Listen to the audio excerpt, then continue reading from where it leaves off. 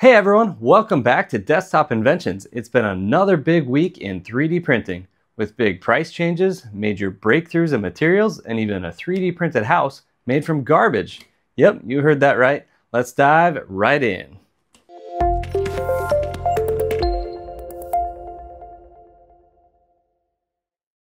Okay, so first up, if you've been eyeing a Bambu Labs printer, heads up because prices are jumping. The X1 Carbon, the H2D have all had pretty significant price jumps in these last few weeks.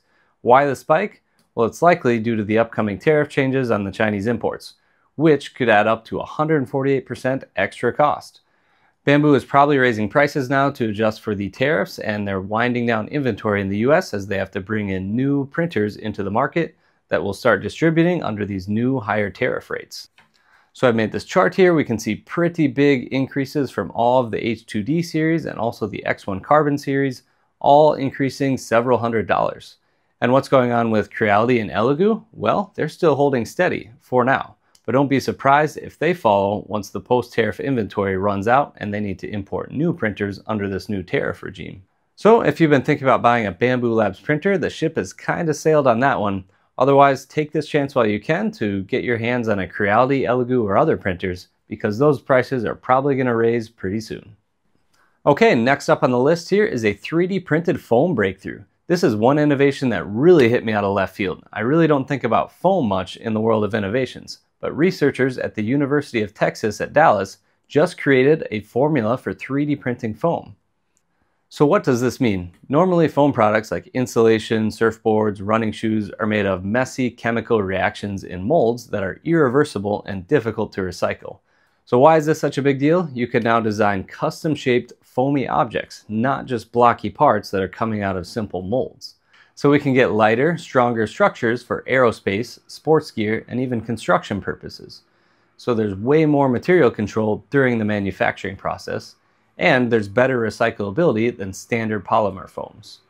And the exciting thing, maybe this isn't too far away from hobbyist 3D printing. So in the YouTube video, I saw they were pulling off these finished foam parts from an Anycubic uh, normal looking resin printer. So that leads me to think maybe the printer isn't that special, it's just the material that they're working on developing. So that could be coming into the hobbyist space pretty soon. So if you haven't seen it already, I would expect to see more foam 3D printing materials at 3D printing conventions in the future, especially with 3D printed shoes taking off as much as they are now.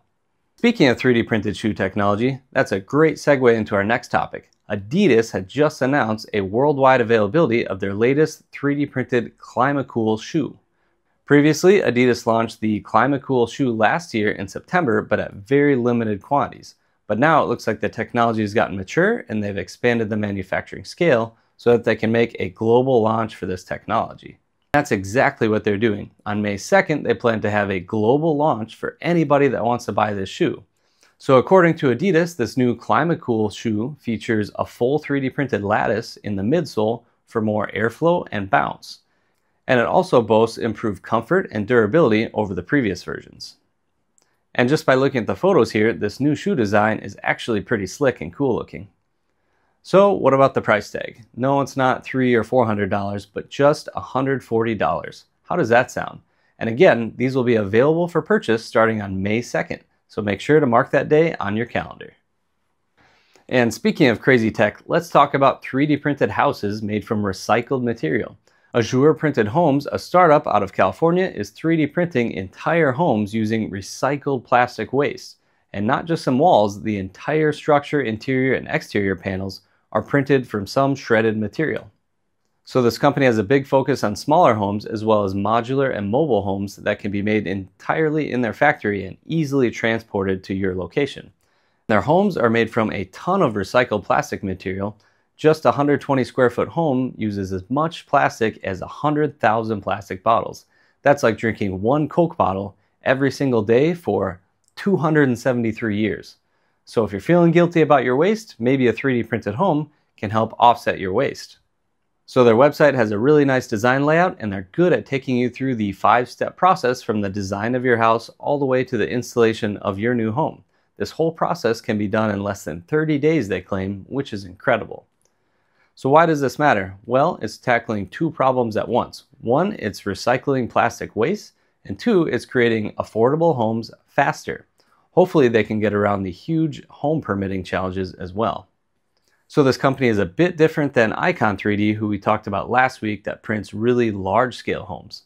So this Azure 3D is just focusing on smaller mobile homes and homes the size of small sheds that will fit in your backyard. At least for now anyways. Okay, that's it for the main news topics. Let's jump over and see the 3D printed prints of the week. Okay, first up for the Thingiverse print of the week. Uh, previously last week I had this V-twin motor fidget, which uh, worked pretty well, but I didn't have a good solution for print in place. We had all these overhangs. So now I've updated the design to be uh, actually printed in place. Uh, mostly anyways. So what happens when it prints out, this other piston will be uh, laying down on the print bed. So all this can be printed with no supports. And once it's done printing, you go ahead and pop this guy in here. And then you've got a working uh, V-twin fidget. Quite fun and satisfying to play with. And again, this is a remix of the original motor fidget that was made by Mars 3D. And you know, since I did the original V-twin one, I had to do a V8 version. So this is a similar deal. Four of the pistons will be popped out of place um, and they'll be laying flat on the print bed once it comes out. So it'll come out of the print bed like this, and then you'll pick it up and you'll just snap all four of these pistons into place.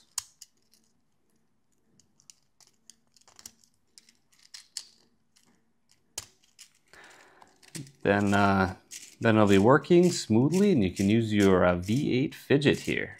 This thing is really fun to play with. You can flip it around like this. You can watch all of the crankshaft and connecting rods go to work.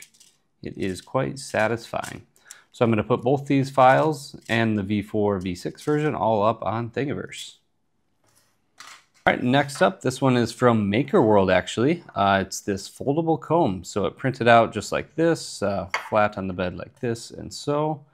And then the comb here will snap into place. There we go. And then once it's uh, snapped together, this can uh, fold up and unfold. The main reason I printed this out was to use on my cats. And as you'll see here, it works quite well and they love it. This was a great print by Jacob Dam from MakerWorld and he actually spent a lot of time uh, refining the design so it does print out really well and high quality. So if you've got some cats that love some uh, combing at home, I highly recommend this print as well. Okay, now it's time for the shorts. First up here is Printer Inception. Uh, looks like this guy got some free extrusion from work, and he wants to make his own giant 3D printer, 800 by 800 millimeters.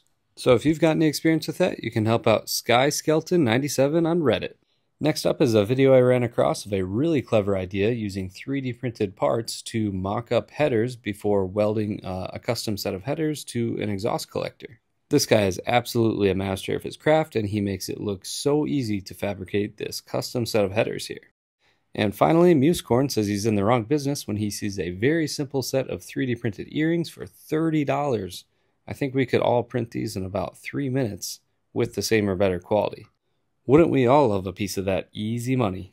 Okay, that's it for the 3D printing news this week. Which story impressed you the most? Foam that you can print? shoes that you can wear, or houses for your backyard?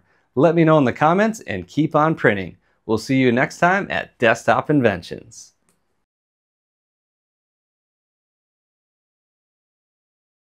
This new formula lets you 3D print fart farts.